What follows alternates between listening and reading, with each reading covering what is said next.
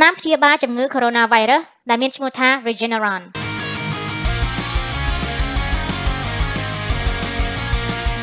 សួស្តីទាំងអស់គ្នាសូមស្វាគមន៍ខ្ញុំឈ្មោះកត្យាវីដេអូថ្ងៃនេះគឺខ្ញុំនឹងនិយាយអំពីថ្នាំព្យាបាលជំងឺ Coronavirus ក្នុងលក្ខណៈស្រាលទៅមធ្យមថ្នាំនេះគឺបានផលិតឡើងនៅក្នុងឆ្នាំ2020គឺចាប់ផ្ដើមប្រើប្រាស់នៅខែ11ជាលក្ខណៈសិក្សាស្រាវជ្រាវហើយថ្នាំនេះគឺបានប្រើទៅលើលោកប្រធានាធិបតី Donald Trump ផងដែរឥឡូវហ្នឹងគឺ FDA បានអនុញ្ញាតឲ្យមានការប្រើប្រាស់ថ្នាំហ្នឹង ជាលក្ខណៈបន្ទាន់ដើម្បីផ្ដល់ជូនអ្នកជំងឺទាំងឡាយណាដែលគាត់មានអាការៈស្រាលទៅមធ្យមមានន័យថាគាត់ពុំមានការប្រើប្រាស់អុកស៊ីហ្សែនឬក៏មានលក្ខណៈធ្ងន់ធ្ងរនៅឡើយទេស្ថានភាពរបស់គាត់នឹងអញ្ចឹងគេអាចផ្ដល់ថ្នាំនេះជូនគាត់ហើយក្រុមហ៊ុនដែលផលិតថ្នាំ Regeneron គឺជាក្រុមហ៊ុនដែលមានឈ្មោះថា Regeneron Pharmaceutical អក្សរសញ្ញានៅក្នុងការលក់ដូរបានភាគហ៊ុនគឺ REGN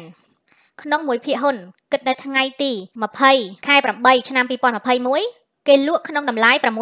63ដុល្លារចុច27សេនក្នុងមួយភាគហ៊ុនហេតុអ្វីបានជាខ្ញុំលើកយកថ្នាំនេះមកបង្ហាញជូនបងប្អូនដោយបងប្អូនបានដឹងហើយក្នុងវីដេអូមុនមុនខ្ញុំបានបង្ហាញជូនថ្នាំដែលគេប្រើប្រាស់សម្រាប់ព្យាបាលអ្នកជំងឺកើត COVID-19 ហ្នឹងមានលក្ខណៈស្រាលទៅមធ្យមដែលថ្នាំនោះគេបានបញ្ឈប់កុំឲ្យមានការប្រើប្រាស់ប៉ុន្តែថ្នាំមួយនេះគឺជាប្រភេទថ្នាំផ្សេងដែលមានការបញ្ចូលថ្នាំពីរយ៉ាងចូលគ្នាចាបងប្អូនអាចចូលទៅក្នុង website ផ្ទាល់របស់ក្រុមហ៊ុននឹងតែម្ដងគឺក្រុមហ៊ុន Regeneron Pharmaceutical ហ្នឹងឲ្យដឹងថាតើថ្នាំពីរយ៉ាងដែលគេបាន បញ្ចូលគ្នានឹងមានឈ្មោះអីខ្លះចាឈ្មោះទី1គឺ Casirivimab និង MDVimab ដោយបានដាក់ចំនួនដូស Casirivimab នឹងគឺ600 mg MDVimab គឺ600 mg ដោយដាក់បញ្ចូលទៅក្នុង250 ml normal saline ផ្ដល់ជូនអ្នកជំងឺក្នុងរយៈពេល1ម៉ោងអានេះចំពោះអ្នកជំងឺណាដែលគាត់មានស្ថានភាពជំងឺមិនធ្ងន់ធ្ងរចាគឺស្រាលទៅមធ្យម ហើយសួរថាតើគេបានប្រើប្រាស់ចំនួនដូសបានប្រមាណហើយឆ្នាំនេះគឺបើតាមតន័យគេបានប្រើប្រាស់រហូតដល់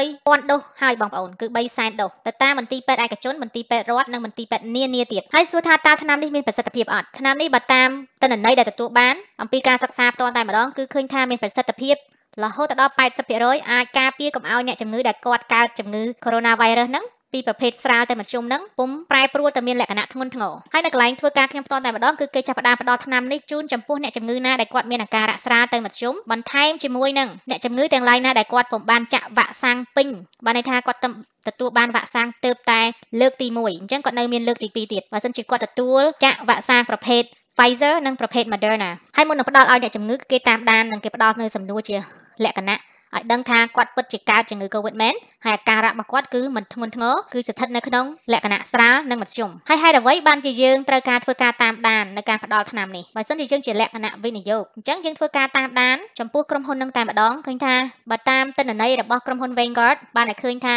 បានភាគហ៊ុនរបស់ក្រុមហ៊ុននេះនឹងអាចទទួលបានការចំណេញ earn per share ហ្នឹងគឺរហូតដល់40ដុល្លារក្នុងមួយភាគហ៊ុនអានេះបើយើងមានលុយច្រើនក្នុងការវិនិយោគយើងអាចធ្វើការតាមដានបានថាតើការវិនិយោគយើងអាចទទួលបានជោគជ័យឬក៏អត់តាមទិន្នន័យដែលផ្ដល់ដោយក្រុមហ៊ុន Vanguard បានឲ្យដឹងថាគេបានណែនាំថាយើងគួរតែទិញបានភាគហ៊ុនហ្នឹងហើយបើសិនជាបងប្អូនបានទិញបានភាគហ៊ុនហ្នឹងកាលពី5ឆ្នាំមុនបងប្អូននឹងទទួលបានការចំណេញរហូតដល់